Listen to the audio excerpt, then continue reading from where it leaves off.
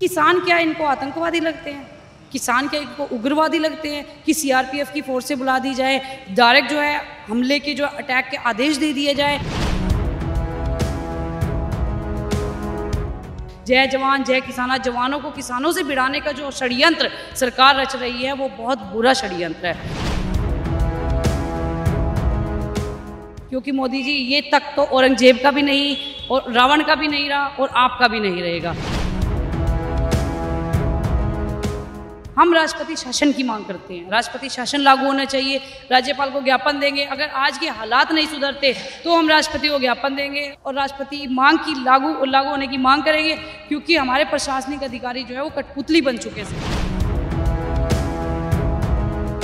आज क्यों सिख समाज को टारगेट किया जाता है? आंदोलन में जब से आंदोलन चल रहा है, तब से सिख समाज जो है वो टारगेट हो रहा है। क्यों हो रहा है? क्योंकि इनको पता है सिख समाज किसी एक पर्टिकुलर जाति के लिए नहीं लड़ता। वो मानवता के लिए खड़ा रहता है।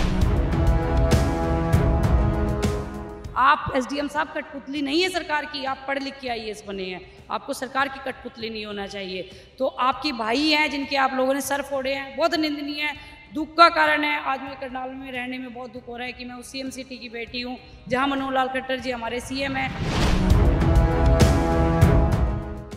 ਮੁਜ਼ੱਫਰਨਗਰ ਚ ਸ਼ੇਰਾ ਵਾਂਗੂ ਗਰਜੀ ਅ, ਹਰਿਆਣਾ ਦੀ ਬੇਟੀ ਅਨੁਰਾਧਾ ਭਾਰਗਵ ਵੀ ਪਹੁੰਚ ਗਏ ਨੇ ਅਨਾਜ ਮੰਡੀ ਦੇ ਬਿਲਕੁਲ ਬਾਹਰ ਜਿੱਥੇ ਕਿ ਅੱਜ ਮਹਾਪੰਚਾਇਤ ਲਈ ਇਕੱਠ ਹੋ ਰਿਹਾ ਹੈ ਅਨੁਰਾਧਾ ਜੀ ਕਿ- ਕਿਵੇਂ ਦੇਖਦੇ ਹੋ ਜਿਸ ਤਰੀਕੇ ਮਾਹੌਲ ਬਣ ਰਿਹਾ ਹੈ ਇੰਨੀ ਵੱਡੀ ਤਾਦਾਦ ਪੁਲਿਸ ਦੀ ਤੇ ਕਿਸਾਨ ਵੀ ਆ ਰਹੇ ਨੇ नमस्कार जी अ, देखिए जैसा कि मुजफ्फरनगर के अंदर जो महापंचायत रखी गई उसने पूरे जो तख्त हैं दिल्ली के वो हिला के रख दिए क्योंकि दिल्ली की वो जो मुजफ्फरनगर में ऐतिहासिक जो इतनी बड़ी पंचायत रखी जहाँ पंद्रह से बीस लाख लोग थे, वो बहुत सोचने समझने वाली ऐतिहासिक देश के अंदर मैंने आज तक ऐसी कोई भी महापंचायत नहीं देखी। उसने तख्त हिला दिए और जो वो तख्त हिले, उसका आपको यहाँ देखने को मिल सकता है कि बाहर से फोर्सेज आई हुई हैं, बाहर से R C R P F I हुई है। ऐसा करनाल में क्या हुआ कि सी आर पी एफ़ लगाने की इनको ज़रूरत पड़ गई है और यहाँ पर जो है, जो हालात देखने को मिल रहे हैं, बहुत बुरे हालात करनाल के बन चुके हैं और मैं तो ईश्वर से प्रार्थना करती हूँ कि आज मेरे करनाल में कोई ऐसा कोई अनहोनी ना घटे ताकि जो किसानों के लिए या मेरे भाइयों के लिए या पुलिस प्रशासन के लिए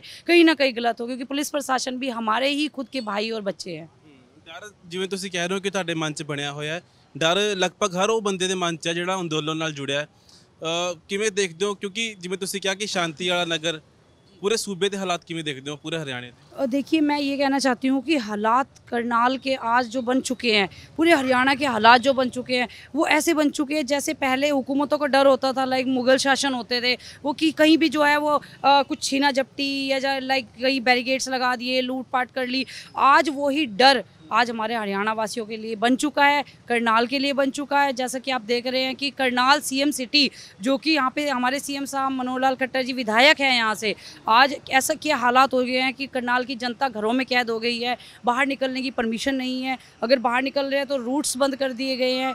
देश के हालात बहुत बुरे हो चुके हैं और करनाल की अगर बात की जाए तो तानाशाही सरकारें जो है, वो अपना शिकंजा कस चुकी है। और यहाँ पर मिलिट्री शासन और सीआरपीएफ ऐसी ज़रूरत नहीं थी लेकिन किसान क्या इनको आतंकवादी लगते हैं? किसान क्या इनको उग्रवादी लगते हैं कि सीआरपीएफ की फोर्स से बुला दी जाए? डायरेक्ट जो है हमले के जो अटैक के आदेश दे दिए जाए, एसडीएम को सर फोड़ने के आदेश हो, देखिए तानाशाही इतनी नहीं चलेगी। और मैं ये कहना चाहती हूँ कि करनाल के जो आज हालात देख रहे हैं आपकी पूरा बैरिगेड्स लगाए हुए हैं, पूरा जो यहाँ पे अपना इतना बुरा हाल जो फोर्सेस लगाई गई हैं, ये प्रशासन आपस में ही देखिए पुलिस वालों को, हमारे किसानों से, जय जवान, जय किसाना, जवानों को किसानों से भिड़ाने का जो षडयंत्र सरकार रच रही है, वो बहुत बुरा षडयंत्र है। और लोग समझ नहीं रहे हैं, लोगों को बाहर आना चाहिए और इस किसान आंदोलन का समर्थन करना चाहिए क्योंकि आज किसानों की मांग उठ रही है कल कोई और कम्युनिटी की उठेगी तो आप लोगों का साथ कोई नहीं देगा ਕਿਸਾਨਾਂ ਦਾ ਕਿਵੇਂ ਦੇਖਦੇ ਹੋ ਕਿ 9 ਮਹੀਨੇ ਤੋਂ ਵੱਧ ਹੋ ਗਿਆ ਹੈ। ਕਦੀ ਠੰਡਾਂ ਆਈਆਂ ਧੁੱਪਾਂ ਆਈਆਂ ਤੇਹਾਂ ਵੀ ਕੱਟੀਆਂ ਸਾਰੀਆਂ ਚੀਜ਼ਾਂ ਹੈਗੀਆਂ ਜਿਸ ਤਰੀਕੇ ਹਾਲਾਤ ਨੇ ਡਾਂਗਾ ਵੀ ਪੈ ਰਹੀਆਂ ਕਰਨਾਲ ਦੇ ਵਿੱਚ ਹੀ ਸਾਰਾ ਕੁਝ ਹੋਇਆ जी। देखिए, पहली बात तो मैं बताऊँ, नौ महीने से किसान आंदोलन में किसान बैठे हुए हैं। कितनी शहादतें हुई है। आप ये देखिए, उनके परिवार उजड़ गए हैं। वो अपने लिए तो नहीं आए, देश के लिए आए हैं। सभी लोग इकट्ठे बैठे हैं, कृषि कानून रद्द कराने के लिए आए हैं। एमएसपी पे वो गारंटी चाहते हैं और पर्सनली तो किसी ने कुछ नहीं चाहा। 600 लोग की शहादत होगी। उसके बाद कितने अभी जो लाठीचार्ज हुआ, उसमें कितने किसानों को चोट आई है? और मैं ये कहना चाहती हूँ कि वो किसान अपने लिए नहीं बैठे हुए थे। और ऐसी शहादत, अगर ये लोग तक तख्त पे बैठे हुए हैं, इनके लिए शर्मनाक होनी चाहिए। अगर मोदी जी कहीं मेरी बात सुनते हो, आप अपने देश की बेटी की आवाज़ सुनते हो, काले कानून रद्द कीजिए, क्योंकि मोदी जी, ये तक तो औरंगज़ेब का भी नहीं, और रावण का भी नहीं रहा, और आपका भी नहीं रहेगा। और देखिए, दूसरी बात मैं आपको बताऊँ कि आज के जो हालात हैं, वो हम देख रहे हैं। अगर सरकार फिर भी बाज नहीं आती, क्योंकि देखिए मैं एडवोकेट हूँ और हम लॉ एंड ऑर्डर से बाहर नहीं जा सकते। तो मैं ये कहती हूँ कि हमारी एडवोकेट लोग जो हैं एडवोकेट कम्युनिटी से आज हम लोग हालात देख रहे हैं। अगर नहीं सुधरते, क्योंकि इसमें हमारे भाई भी हैं, हम खुद हैं, हम सुरक्षित महसूस नहीं कर रहे उस तरीके से करनाल में, क्योंकि जब सरकारें आती है तो प्रशासन जो है, वो बहुत अलर्ट हो जाता है। प्रशासन ने हमेशा करनाल में बहुत अच्छा काम किया है। बट जो हालात आजकल सी इतना छोटा सा करनाल है, यहाँ पे भी सी आर एंड आर्मी ये हमें बहुत ज़्यादा दुखदाई है। हम राष्ट्रपति शासन की मांग करते हैं। राष्ट्रपति शासन लागू होना चाहिए। राज्यपाल को ज्ञापन देंगे। अगर आज के हालात नहीं सुधरते तो हम राष्ट्रपति को ज्ञापन देंगे और राष्ट्रपति मांग की लागू लागू होने की मांग करेंगे क्योंकि हमारे प्रशासनिक अधिकारी जो है वो कठपुतली बन चुके हैं तो लगता है कि राष्ट्रपति राज हरियाणा चलाना इतना सौखा है? देखिए जब कोई इंसान उठ के चलता है, अब किसान आंदोलन है, इतने लोग इकट्ठे हुए हैं, कोई बुराई होगी तभी इकट्ठे हुए हैं। देखिए, कोई अगर किसी को बुराई नहीं लगती तो कोई भी ऐसे अपनी माँ बहनों को लेकर बैठ के सिंधु बॉर्डर पर नहीं बैठेगा। अब आप ये देखिए कि मुझे ऐसा लगता है जब हम एक होंगे, आज यूथ की आवाज़ सुनी जाती है। देश में जब यूथ की आवाज़ उठती है तो कोई भी सरकारी तख्त अपने आप हिल जाता है। जब महापंचायत में इतने लोग उस तख्त को इलाके आज के हालात देखे जा सकते हैं तो ऐसा क्यों नहीं हो सकता?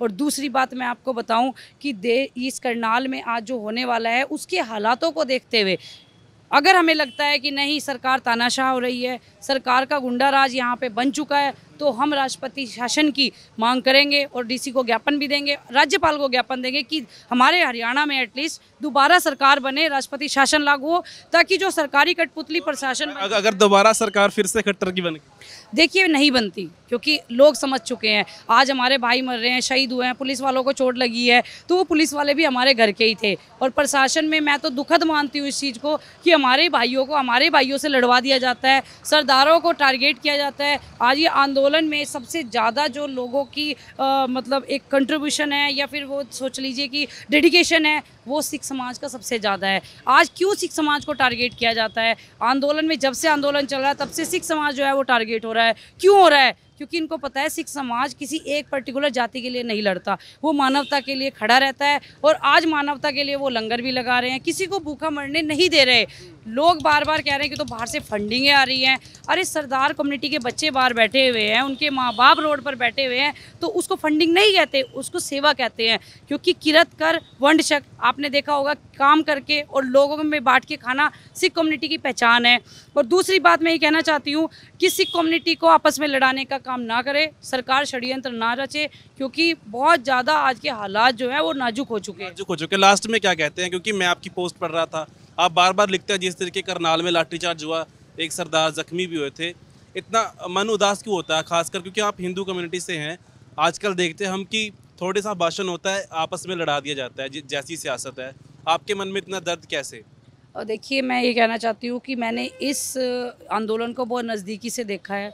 इसमें सारी कम्युनिटी बैठी हुई है सिख कम्युनिटी बैठी होती है, लेकिन हमेशा जब टारगेट मेरी ही कम्युनिटी को, मेरे सिख कम्युनिटी को किया जाता है तो मुझे बहुत दुख होता है। और कहीं ना कहीं अंदर से दिल रोता है कि आज देश के हमने जो चुन के आज तख्तों में बैठाया, आज वही हमारे भाइयों के साथ, हमारे बाप के साथ गलत कर रहे हैं। देश में बेटी बचाओ अभियान है, लेकिन हमारी बेटियाँ रोड पे बैठी हुई है, हमारी बेटी और बहुएँ हैं जो वो रोड पे बॉर्डर पे बैठी हुई है। ऐसे हालात आज मुझे बहुत दुख होता है और मैं बहुत दिल से आज दुखी हूँ सुबह से कि हमारे करनाल के हालात, हमारे देश का जवान और किसान आमने सामने करवा दिया। देश की ये हालात बन गए हैं कि जो अन्नदाता, जो देवता हमारे देश में हमें रोटी खाने को देता है, जिस तख्त पे बैठ के हमारे देश के अन्नदाताओं की रोटियाँ ये खाते हैं, आज हमारे जवानों को आपस में भिड़वा दिया।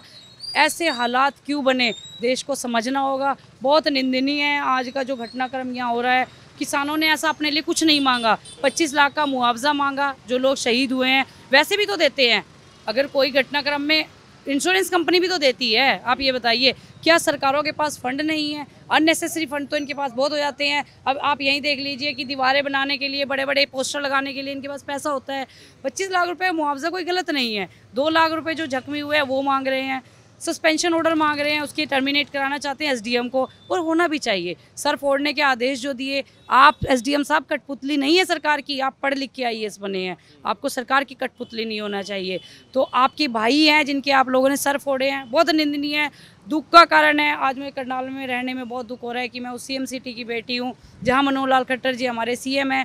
अगर सुनते हैं मनोहर लाल खट्टर जी, हाथ जोड़कर अपील है कि ये जो आपके उपद्रवी यहाँ पर आकर उपद्रव मचाने की कोशिश में लगे हुए हैं, जो सरकार ने भेजे हुए हैं उनको रोक दीजिए, क्योंकि कोई ऐसी अनहोनी घटे ना, ताकि राष्ट्रपति शासन की मांग हमें करनी पड़ जाए और देश का युवा रोड पर उतर जाए, देश के वकील रोड पर उतर जाए, देश के टीचर्स रोड पर उतर जाए, छत्तीस बिरादरियाँ रोड पर उतर जाए। दोबारा ये कहूँगी फिर से कि अगर तख्त बचाने हैं, मेरे किसान भाइयों की आवाज़ सुन लीजिए, नहीं देश के अंदर वो दिन दूर नहीं, जब 1984 और जलियावाला हत्याकांड दोबारा से दोहराया जाएगा। जी। बहुत बहुत धन्यवाद सोए ने ਮੈਡਮ ਭਾਰਗਵ ਮਨ ਦੇ ਵਿੱਚ ਉਦਾਸੀ ਵੀ ਲੈ ਕੇ ਆਏ ਤੇ ਚਿੰਤਾ ਵੀ ਕਹਿੰਦੇ ਕਿ ਜੇ ਸਾਡੀ ਜਾਂ ਕਿਸਾਨਾਂ ਦੀ ਆਵਾਜ਼ ਨਹੀਂ ਸੁਣੀ ਜਾਂਦੀ ਤਾਂ ਤਖਤ ਬਦਲਣ 'ਚ ਵੀ ਸਮਾਂ ਨਹੀਂ ਲੱਗੇਗਾ। ਆਪਣੇ ਸਹਿਯੋਗੀ ਰਵੀ ਸ਼ੰਕਰ ਦੇ ਨਾਲ। ਕਰਨ ਸ਼ਰਮਾ, ਅੱਖਰ ਦੇ ਲਈ।